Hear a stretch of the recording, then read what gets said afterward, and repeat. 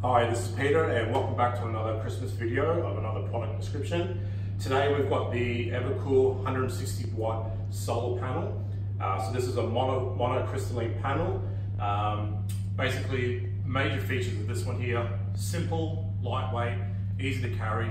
Uh, you've got your connections at the back here, which also means it comes with the solar regulator built in.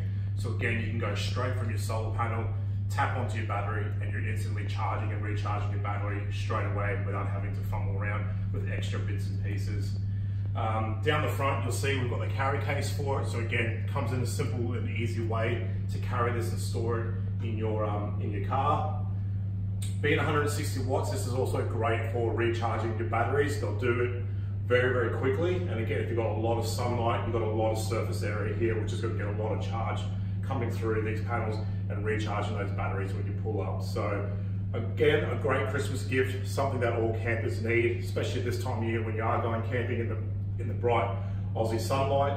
Again, this is gonna help you charge up your fridge, your batteries when you pull over to the side of the road and you're having a bit of a rest. So make sure you look below the video. We'll do a product link uh, to the actual specs in the description, but certainly this is definitely one of the best buys for Christmas for 2018.